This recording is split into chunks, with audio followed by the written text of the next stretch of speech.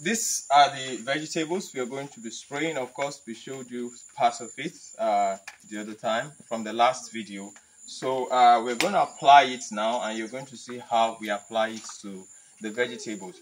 Now, uh, rabbit urine is not only used as a means of fertilizer and also pest control. It is also used in uh, compost, uh, organic composting. That is when you add rabbit urine to compost, it helps the breakdown process of the compost very fast and makes it very rich. And rabbit urine is also used in hydroponics and aquaponics. So the rabbit urine is mixed with the solution used as feeding for the crops in hydroponics and hydroponics. So um, uh, aquaponics, sorry, hydroponics and aquaponics. That is planting crops without soil using a, a water medium to plant the crops. So the water medium you use to plant those crops in hydroponics and aquaponics, you can also add rabbit urine to that solution, that water medium, because of the high nitrogen content in the rabbit urine. So rabbit urine is used for fertilizer, which we are going to show you now how you apply it to the crops. And uh, the next video we're going to be making, like I said last time, is the one where we use rabbit urine as a means of pest control. So that will be spraying as a foliar spray. Then you also use it in composting uh, in order to help decompose your compost. Then it is used in hydroponic and aquaponics. So rabbit urine is very rich and very essential in crop production. Alright, so now we are going to go straight into the application as fertilizer to our tomato crops. So you can see the tomato has started flowering. So you can also apply at this stage. And remember, we planted in bags. So this is climate smart agriculture.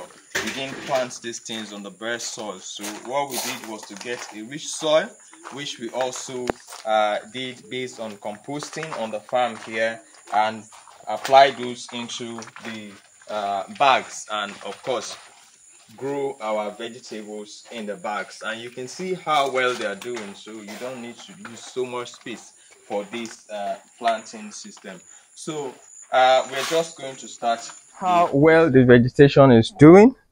We have not applied anything other than using of the rabbit urine because I've decided not to include any other organic or inorganic chemical just want to use the rabbit urine purely. So what we do here is we apply this uh, ratio of diluted rabbit urine with water once every week. You can apply it once every week or once every two weeks. It doesn't matter. But just ensure that you don't apply it every day. So once every week is what we do. These vegetables are just, I think, a month and uh, two weeks old. You can see how they are. Some of them have even started flowering. So they are very nicely done. And of course, we planted in bags because like we said, we're not looking at only those who have land to start farming. You can actually start farming without having a land. We have shown you how to plant on the wall and also this we planted in bags so you don't have to wait until you get a land now if you come here let me take this uh, we'll take you to the carrots first. So these are our carrots. You can see we planted the carrots in the bags. And we have also been watering these carrots with the rabbit urine once every week. So you can see how well they are doing. So this is a proof that the rabbit urine, the theory of rabbit urine, it works and it's very practical. So what I'm going to do now is just pour little here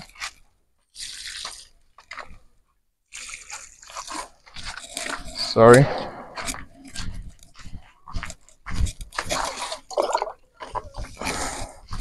So now you understand that we need a lot to do all the vegetables we have.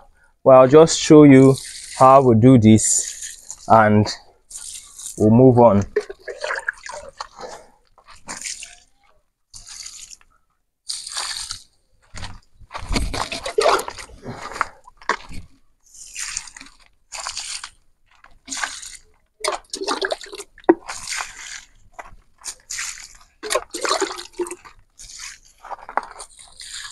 so we are finished watching our carrots. Now let's water our vegetables. So for the um, tomato you don't pour it on the leaves. We just pour it by the base like this.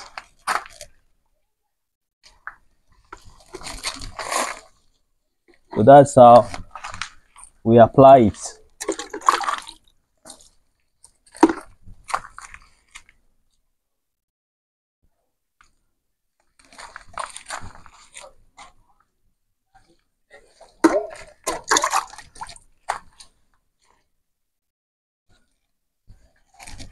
so now if you come here we have some of them here as well. So you can see we have about four cans here. So we just pour these ones from the top to bottom. So you see there are openings. So the water doesn't stay inside completely. It drains out. So the nutrients remains with the soil and they continue to do well. So here is our poultry unit actually for layers. So we're expecting our second batch of birds. We just took out the first batch not quite long. So let's take you to the other side.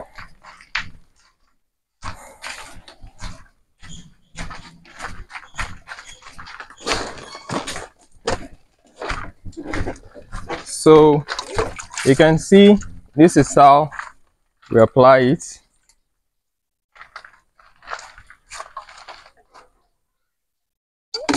And this tomato will start yielding very soon.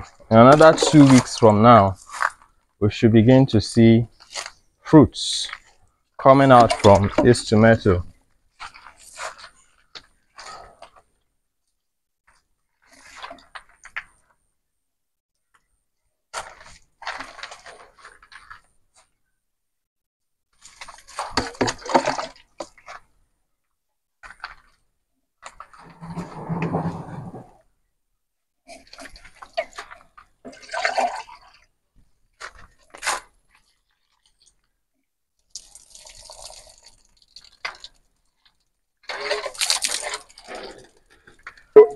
yeah so this is mr kester amos your favorite animal scientist. So you now understand that i know a lot of things that i've yet to brought to the fore. So there's so much knowledge we want to share with the world.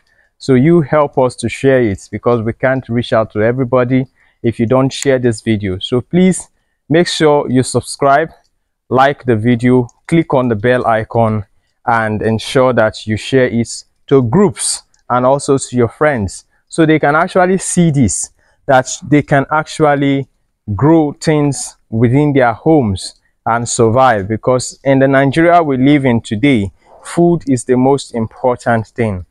Ordinarily that should be the most important thing. But today our economy is re-emphasizing that to us.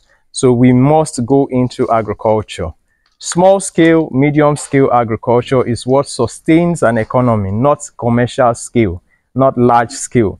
You only have 20% of large scale agricultural farms in any economy. So the what sustains the economy, 60% of what is being produced and taken in in the country is produced by smallholder farmers and medium scale farms. So don't say you want to accumulate all the money in the bank before you start your own farm. So you can see I'm very comfortable I'm putting on sale pass because I'm in my house. ordinarily, if I go outside to do a job, of course, I won't be dressed like this. So this is to tell you that I'm at home and you can see what I have within my premises.